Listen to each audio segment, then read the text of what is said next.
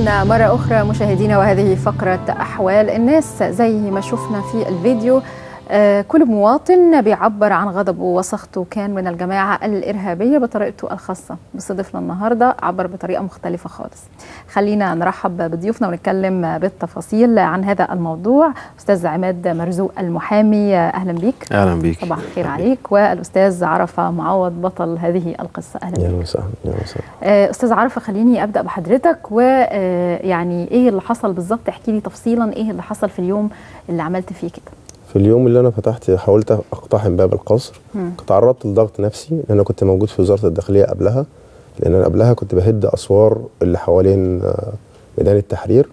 لأن مم. معايا إذن قضائي إن أنا أمر- عندي حكم قضائي. إن الأسوار دي معيقه للحياة. فكنت بروح له اتوجه لوزارة الداخلية آه. وببلغهم إن أنا هشيل الأسوار دي. تعرضت لضرب خرطوش لرج- لرجلي رغم إن أنا قلت لهم إن أنا بعمل الشيء الفلاني لأن كنتوا ما بتنفذوش القانون. أنا كنت بدافع عن القانون في الليلة دي كنت رايح تحت بانر يعني شهيد دولة القضاء والقانون. في الوزارة وبعدين وأنا في الوزارة شفت مشهد اللي هو حمادة اللي اتعرى في الشارع. فالمشهد ده أثرني جدا. فقررت في اليوم ده يا إما أكون ميت وما أكونش تحت حكم مرسي أو إن أنا أكون في السجن فرحت إن أنا أقتحم باب القصر ما كانتش أول مرة إن أنا أهد أسوار أو الكلام ده. أنا هد بس أسوار إيه بقى. موضوع الونش وموضوع اللود لا، هو مش ونش. الموضوع كان أمال هو كان مش هو معده يدوية. عبارة عن زي البكرة كده بس بتشد حوالي 6 طن تقدر تجر 6 طن وفيها wire بربطه في البوابة وبعدين أربطه في في العمود. تمام. وبعدين أشغل بيدوي فتجر ال- الونش. آه بس الباب المظهر بدا إن هو شيء آه قالوا ده في حد بيحاول يقتحم القصر ما قالوش. حد بيحاول يكسر السور بتاع لا أنا. كنت عايز اولا الموضوع إن حد يقتحم القصر كده وعدد قلي- قليل يعني معناها ده انتحار آه. مبدئيا يعني ده انتحار بمعنى كلمة انتحار لأن ورا الباب ده في موجود ناس بتعمل شغلها اللي أكيد. هو الحرس الجمهوري هيدافع عن القصر وده حقه تمام لكن أنا إحساسي إن لا يمكن يكون بعد ثورة عظيمة زي دي يكون واحد زي كده اللي بيحكمني. فانا كنت افضل الموت. كنت تفضل الموت, الموت عن أو إنك إن تفضل تحت السجن حكم بحيث ما اكونش تحت حكم. الراجل ده. أو إن هو يسقط بأي حال من الأحوال. فكنت أنا طوبه في الطريق للوصول لإن إحنا نهزم الراجل ده. آه. طيب أستاذ عماد أستاذ عرفة كان على بعد امتار من الموت. آه بعد ما حصل هذا الحادث وتم القبض عليه اتقدمت ضده أدلة شكلها إيه؟ الأدلة اتقدمت ضده سيديهات من وزارة الداخلية ولأن الواقعة كانت مصورة قدام القصر. فكانوا مصورينها على سيديهات لوجود كاميرات لأن ده مكان سيادي. آه كاميرات فهو. عرفة ما كانش لوحده. عرفة كان معاه باقي الثوار اللي كانوا موجودين زمايله. هم حاولوا يقتحموا القصر مش يخشوا. لا ده هم كانوا عايزين يوصلوا له رسالة إن مفيش حاجز بين الحاكم وشعبه. وإن القصر ده مش ملكه. ده القصر ده ملك للشعب ملك للجميع وده مكان سيادي. عرف أصلا يعني لا هو مثلا عقله يعني هو كمان مش بي من أول التحقيقات ما اتقدمت في النيابة العامة وهو ما زال قال أنا مش هقتحم ده أنا ما كنتش بقتحم ده أنا عايز أوصل رسالة. فدي بناء عليه الحكم صدر. وقتها طبعا هم قالوا إن كان في حق واحد بيحاول يقتحمه وإن دي بلطجة وإن يعني آه آه ما هو الضغط النفسي بيولد الانفجار. وهي إيه دلوقتي؟ هي اتوصفت إيه دلوقتي؟ اتوصفت على إنها جماعة أو منظمة إرهابية صحيح. واتحطت على قوائم الإرهاب خلاص. وهو سياسته أصلا هي اللي خلت كل الناس اللي عملت كده بدليل إن خلى واحد مقاول يفكر التفكير ده إن هو عايز يوصل له رسالة أو يوصل له رأيه بطريقته على حسب تعليمه وثقافته. وعرف ما هو بيوصل له على حسب تعليمه وثقافته. وده وده وضع طبيعي. ضغط ضغط ضغط ضغط لما يولد الانفجار. وخير دليل على إن عرف ياخد الحكم ده لأن أنا عايز أقول حاجة. إن القضاء المصري سيظل شامخا وأنا بوجه له من هنا الشكر. القضاء. المصري سيظل ابدا ودائما رمزا للعدالة. ولو ما فيش قضاء مصري كان عرفة ده بقت حكمه حاجة تانية. ومن ضمن الحاجات برضو أنا أصريت على موقفي في النيابة إن أنا أعترف إن أنا الحاجة دي بتاعتي. واعترف إن الونش لأن ده عايز بتاعه. اعترفت إنك سياسية. عملت آه، كده. آه، اعترف إن الونش ده ملكه. آه، ما وأنا ما كنتش التهمة. كذاب زيه. أنا مش كذاب هو ما أنكرش محمد التهمه مرسي كذاب أنا مش كذاب هو ما أنكرش التهمه في التحقيقات وما أنكرش قدام المحكمة كمان. يعني المحكمة ال ال ال ال ال فترة التحقيق قعدت حوالي الحبس الاحتياطي سنة الا ثلاث أسابيع. وهو كل مرة القاضي يسأله أنت يا عرفه شرعت ما هم عدلوا له التهم. ده التهم اللي كانت موجهة قبل كده كان 25 تجيب له. مؤبد وإعدام. ليست التهم. وكان لازم هو يعمل كده برضه. فطبعا الم... معلش أنا عايزه أعرف تهم زي إيه بقى؟ يعني هو إزاي إزاي تجي له 25 سنة ولا حاول اعدام قلب نظام الحكم هو- الاعتداء على قصر الرئاسه تمام. آه، والاعتداء تهم من هذا القبيل، ملفقة يعني. لا لا لا لا لا. هي لستة اتهامات النيابة بتوجه اتهامات حسب محضر الاستدلال اللي جاي لها. محضر الاستدلال ده جاي من رئاسة الجمهورية مش جاي من الشرطة بس. رئاسة الجمهورية كاتبة المحضر مذكرة موجود. مش على عرفة بقى ده على عرفة وباقي الثوار وهو كان معاه ناس تانية. بس قضية عرفة انفصلت لوحدها لأنها لها طبيعة خاصة. آه، راجل كان عنده ونش واعترف بالجريمة وقال ونش كله أنا رفضت اعترف على أي حد من الثوار وما قالش على أي حد. قلت إنك كنت لوحدك. آه لا وزمايلي سألوه قال ما شاؤول أساميهم مش هم. يكملوا المشوار. طيب أنا هعود لطريقة الدفاع وقرار حضرتك أستاذ عماد إنك تدافع عن آه، أستاذ عرفة بس عايزه أعرف التحقيقات بدأت إزاي. إيه اللي تم في التحقيقات تفاصيل. ليلة القبض عليا طبعا اتقبض عليا من الحرس الجمهوري. آه. أه لحسن بعد حظي التكسير على طول اتقبض عليك من الحرس التكسير ما الجمهوري حصلش لسه التكسير ما كان يعني كان الشروع مجرد الشروع. آه. خرجوا عليا تم الاعتداء عليا بالضرب وبعدين اقتادوني داخل القصر. قعدت ليلة داخل القصر. وبعد كده آه، لحسن الحظ بدل ما يودوني محكمة عسكرية الحمد الحمد, لله لله يعني. طلعت على النيابة العادية. فرحت للنيابة العادية فاتعمل التحقيقات بتاعتها وفي نفس اليوم رحت على والحرس السجن يشكر طبعا إن هو عمل كده الحرس الجمهوري حرس تمام. الجمهوريه يشكر في الموضوع كنت كل مرة بتتسأل أستاذ عرفة بتقول أنا عملت ده آه، علشان آه. أوجه الرسالة إن بالظبط. أنا مش من عايز فجر محمد مرسي التحقيقات من أول كلمة في محضر مش مش عايز. محمد مرسي أنا ببعت له رسالة إن عدم استماعه للثورة أو الثوار في التوقيت ده كان الكلام ده في شهر واحد لسه قبل 30 يونيو أنا أول من تمرد على حكم مرسي أصلا عملي أستاذ عرفة أنت انتخبت مين في ال- انتخبته هو انتخبته بس هو. بشرط انتخبته هو بس بشرط. إيه هو الشرط اللي أنا كنت حطيته؟ الشرط اللي أنا حاطه لو ما مشيش بما يرضي الله هنسقطه. وكنت صادق مع نفسي في ده. مم. تمام؟ هو ما مشيش بما يرضي الله. أول ما مسك عمل حاجات غريبة جدا. مم. اولا وبعدين كل اللي يهمني أصلا القضاء.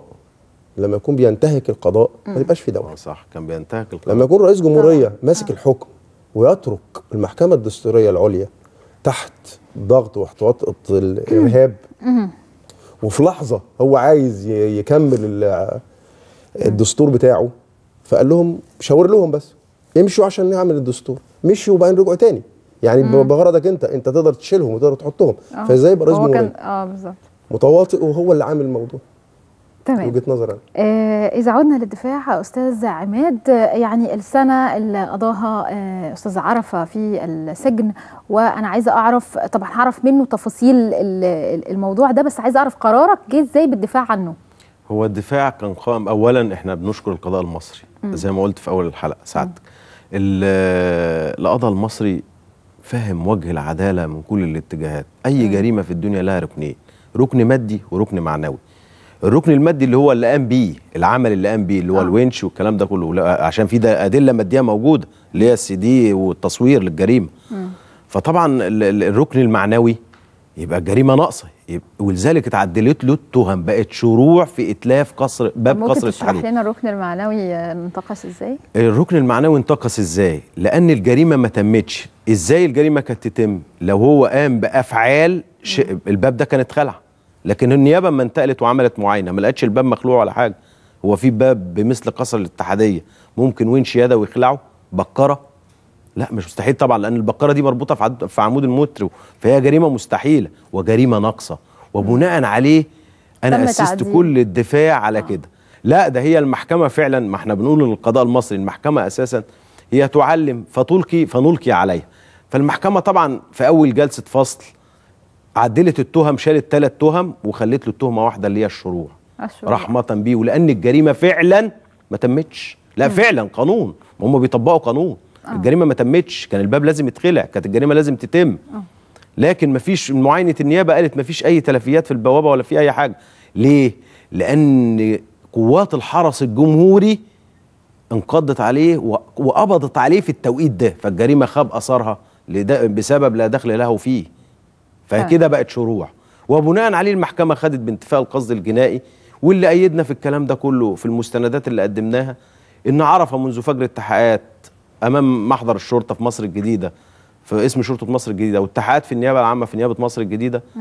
ما زال متمسك. أنا ما كنتش ناوي أقتحم القصر وما كنتش ناوي بنفس العبارات كده موجودة في له وما كنتش. ناوي أفتح باب القصر. ليه؟ لأني لو فتحت كمان ده هو عاقل جدا. بيقول أنا لو فتحت باب القصر الدم هيبقى للركب بالثوار ما الحرس هيضرب. وده وضع طبيعي ده عملهم. وبعدين ده مكان سيادي مش مدرسة هي ولا بيت. مكان سيادي. وده طبعا عمل أول أول مرة يمكن أنا على ح- يعني على شغلي أول مرة أشوف إن متهم يقدم بهذا ال- الاقدام ولكن أنا لما وصلت للمحكمة إن الضغط يولد الانفجار وأن الجريمة ما تمتش وفي انتفاء للقصد الجنائي وايد ذلك أقواله أمام النيابة والشرطة إن هو ما كانش ناوي يفتح القصر وكان بيوصل رسالة إن ما فيش حاجز بين الرئيس الجمهورية وبين شعبه. ومهما كانت الحواجز دي اللي هي الأسوار ال- الحديدية والخرسانية اللي كانت محطوطة حوالين القصر. مظبوط. طيب أستاذ عرفة عند صدور الحكم عليك بالسنة سجن مع إيقاف التنفيذ. مع إيقاف التنفيذ. حضرتك. بعد مرور سنه من وجودي في السجن. آه. سنة لثلاث أسابيع كده. رد فعلك كان عامل إزاي؟ رد فعل عادي لأن ال- ال- الشيء الطبيعي إن أنا عارف إن أنا هاخد حكم. آه، آه، أستاذ عرفة يعني إذا تطرقنا لخصوصيه شوية ماذا عن أسرتك أولادك؟ طبعا أسرتي اتاثرت وأنا اتاثرت نفسي ك- كشغل. حضرتك عندك أولاد قد إيه سنهم؟ عندي اتنين محمد ومروة. آه واحد في أولى كلية والتانية في أولى سنة مم. كان ردود أفعالهم عاملة إزاي؟ وطبعا بالنسبة لهم أنا أنا كل حاجة في بيتهم أنا بالنسبة لهم كل حاجة حياتهم كلها طبعا اتأثروا جامد. والدراسة مم. ولد اتاثرت. وحياتهم وحي- ومعيشتهم نفسها اتاثرت وزورهم قدام الناس لأن إحنا ال- الادعاء بعد كده إن أنا كنت ممول أو الكلام ده كله أيوة، بالعكس كنت عليه من مديون الإخوان أنا 55 اتقال ألف عليه من. الإخوان قالوا لي واخد فلوس يعني السنة دي دينتي وهو مش تبع حزب 55 ولا. جماعة. لا ثانية واحدة أستاذ عرفة اتقال عليك إنك ممول من مين؟ ما ما أعرفش اخوان قالوا إن أنا ممول من إخوان ممول من الفلول. كلام مالوش لازمة ما هو حضرتك. بتشتغل إيه؟ أنا مقاول ما- آه وقالوا عليك إن أنت ممول من بالظبط كده. ال- الفلول. يعني يمكن موضوع التمويل ده ده هم اللي اخترعوه آه، يعني. بالظبط. طيب آه عندما تبدلت الأدوار أستاذ عرفة آه حضرتك بقيت حر آه هنا ومحمد مرسي داخل السجن. الحمد لله. الحمد لله. إحساسك كان إيه؟ مكانه الطبيعي. آه إحنا دي دي إحنا متفقين عليها. بس قولي آه يعني إحساسك كان إيه؟ عدالة السماء اولا مم. نزلت على الأرض مصر يعني. يعني الراجل ده لا يمكن كان يقدر يحكم مصر أكتر من كده. مم. إحنا ادينا لك الفرصة وأنت ما ما التزمتش بالفرصة وبعدين كنت بتحكم مصر بالوكالة. فما ينفعش مصر تتحكم بالوكالة. آه. طيب آه إذا عدنا مرة أخرى إليك يا أستاذ عماد وعايزة أعرف بقى يعني موضوع بقى البراءة يعني آه، حضرتك استندت لحاجات كتير علشان البراءة تيجي للأستاذ عرفة آه، تفاصيل القضية بقى في يعني على ما البراءة جت كان إيه اللي بيحصل؟ هل هل تلقيتم أي تهديدات؟ هل حصل أي حاجة من الحاجات دي؟ هم الجماعة بس حزب الحرية والعدالة أثناء محاكمة آه، التحقيقات والمحاكمة لعرفة أنا كنت اتكلمت من لأن إحنا موجودين مع بعض وعارفين بعض فليا زملاء كانوا اتكلموا معايا وقالوا لي هو إحنا هيصدر عليه حكم وإحنا نبقى نعمل لكم عفو رئاسي عشان يعني تبقى حاجة كويسة في حقهم لأن البلد كانت مولعة. عايز ياخد carte blanche فعايزين ياخدوا carte blanche على حساب ال- على حساب عرفة. إن هم يصدر بعد كده يصدر حكم. ما التهم الأولانية كانت تجيب له مؤبد وتجيب له إعدام كمان. آه بس عفو رئاسي ده أعتقد لو كان عمل حاجة ما وبعدين عفو رئاسي عن إيه؟ ما هو عمل وجود حاجة القضاء المصري هو اللي خلى عرفة دلوقتي قاعد قدام حضرتك. بس هم ما هددوش. هم لا قالوا بس هم قالوا لي سيبوا لحد ما هياخد حكم. آه. هو كده كده هياخد حكم. قلت لهم إزاي ياخد حكم؟ قالوا التهم كلها لأن التهم ما كانتش اتعدلت. موجهين له ثلاث تهم. آه. فما كانتش ال- ال- في جلسة الفصل في أول جلسة فصل يعني الهيئة يعني مش أيوة. مش هنقول مهما قلنا في القضاء المصري مش هنقول. أيوة، عدلت شالت بتاعتها. تهمتين. وخلت له تهمة واحدة اللي هي الشروط بعد كده خلاص أنا ما اتكلمتش معاهم تاني وأنا كنت بتكلم معاهم أو اتكلمنا مع بعض إن هم لو صدر حكم يصدر عفو رئاسي لأن عرفة مش سوابق ولا عاطل زي ما جه في أمر الأحالة. عرفة مقاول شريف مواطن مصري شريف كاد ومبسوط مش مديون مش مديون لحد يعني ده مقاول كبير. وعنده عربية. إذا كان أثناء القبض عليه سرقت عربيته وأنا عملت محضر بيه آه سرقت العربية وجبناها. العربية دفعنا بتاعته سرقت ملاك. 15000 جنيه. يعني إحنا إحنا في بلد ما 15,000 خلاص في. انفلات. ك- آه، هنعمل إيه؟ صحيح. آه. ورجعناه طيب آه، آه، أنا عايز أرجع برضو تاني لمشهد آه، اقتحامك أو محاولة آه، اقتحام أو تكسير سور القصر. أستاذ عرفة من بيتك مثلا لحد الاتحادية وأنت معاك ال- الآلة دي إيه اللي كان بيحصل؟ يعني محدش اعترضك في الطريق. صغيرة جدا موجودة في شنطة العربية الملاكي. آه. وكان معايا مجموعة من الصور برضو بيت- بيتعاونوا معايا يعني مش أول مرة ما كانتش أول مرة. وإحنا فاتحين قبل كده زي ما قلت لحضرتك السور بتاع القصر العيني. سور الاتحادية نفسه أيام ما كان معمول باب فتحت الطريق للثوار يخشوا بعد أحداث ال- الإعلان الدستوري اللي كان عامله مرسي فكنت بفتح السكة دايما أمام الثوار يعني. فكنت. معروف وسط الثوار بس كان ليا اسم آخر يعني. كان أول الثورة بالبنرات دي كان اسمي مجنون ثورة مسمي نفسي أنا مجنون ثورة. آه. جريدة الثاني بعد كده اسمي قهر الأسوار عرفه قهر الأسوار. آه. هم هم, أطلقوا. عليك ال- الاسم ده علشان الاسم الثالث كان بسبب الونش نفسه. بسبب بسبب الإعلام يعني. آه بسبب الإعلام. ما هو ال- القضية كانت معروفة. هو يعني- يعتبر بطل أحداث الاتحاديه دي آه، حقيقة. لأن. في ناس كتير كانت موجودة في الأحداث دي. آه في ناس كتيرة كانت متواجدة. بس عايزه أعرف برضو حضرتك متواجد منذ الخامس والعشرين من يناير ولحد أكيد 28 يناير وحضرتك كنت. موجود.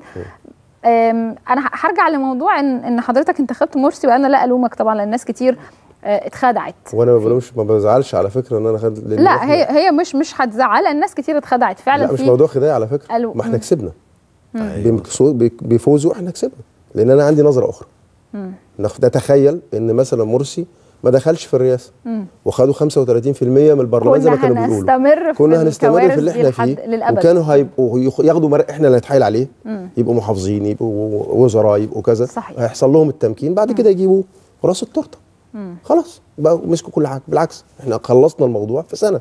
أنا لما كان العملية كلها إيه؟ يا إما النظام القديم ويا إما الإخوان يخوفك بالإخوان. لا أنا بقضي على النظام القديم تمام. وبستمر. لو أنت مشيت بمرضى اللي اديتك فرصتك ما مشيتش خلاص. حضرتك كنت متوقع إن هو يعزل آه. إيه اللي خلاك مش بس؟ كده كمان. ده وأنا في السجن وأنا في السجن. يوم 27 يوم 27 قلت للموجودين معايا في السجن مرسي انتهى.